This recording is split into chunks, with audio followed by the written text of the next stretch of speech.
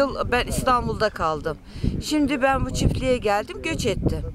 Göç ettiğim e, arazim bu. Büyü- Büyüklükte arazim var. Çiftçilik yapmak istiyorum burada. Hani e, Cumhurbaşkanımız diyordu ya, geçin köylerinize koyunlarınızı, ineklerinizi verelim. Biraz e, hayvancılığa yönelin diye. Ben de ona geldim. Bir bayan olarak çiftçilik yapmak istiyorum. Ama talebim şöyle, e, devletimden ben e, k- devlet desteği bekliyorum.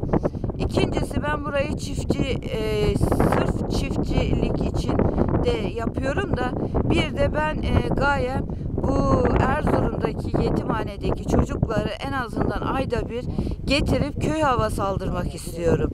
Koyunlarla, kuzularla oynasınlar, gülsünler, değişiklik olsun. Ben onu çok istiyorum. Bir de e, şöyle bir şey söyleyeyim. Yollarımızda biraz e, e, şeylik var. Sağ olsun Aşkale Belediye'miz geldi, yardımcı oldu. Bütün burada gördüklerinizi biz elimizle kazıya kazıya yaptık. Ve bir de iki tane kaynım vardı. Benim durumum o kadar iyi değildi. Onlar yardım ettiler sağ olsunlar. Ee, bir devlet memuruyum. İnanın bütün e, maaşımı e, krediye harcadım. Gördüğünüz gibi şu evi yaptım.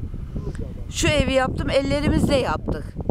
Ee, hayvan beslemek istiyorum. Aracılığa yazıldım. Bu köylerdeki bayanlara da sesleniyorum.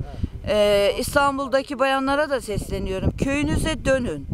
Ee, daha güzel e, yani malımız olsun, davarımız olsun. Ee, ondan sonra gerekirse buraya tandır yapacağım. Tandırda ekmek pişireceğim. Köyüm çok güzel. Herkes dönsün isterim. Yani büyük şehirler gerçekten çok kalabalık. Ama devlet büyüklerimden tek istediğim bana destek olmaları. Peki nasıl bir destek istiyorsunuz? Devlet desteği, e, hayvan desteği istiyorum.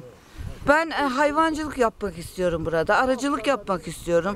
Kurslara başvuruyorum. Gitmediğim yer kalmadı. Şu anda e, başlamadı diyorlar. Ben e, koyun e, daha çok koyun üzerine, davar üzerine yapmak istiyorum.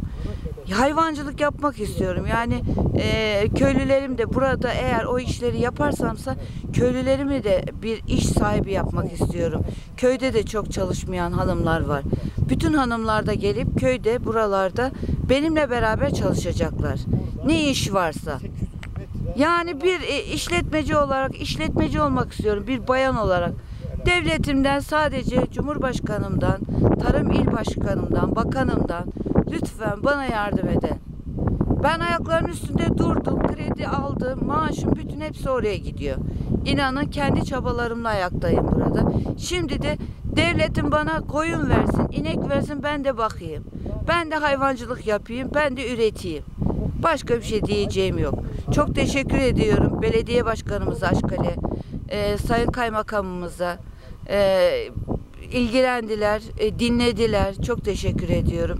Özellikle de e, Selahattin abime, gazete sahibi Selahattin abime çok teşekkür ediyorum. Allah razı olsun.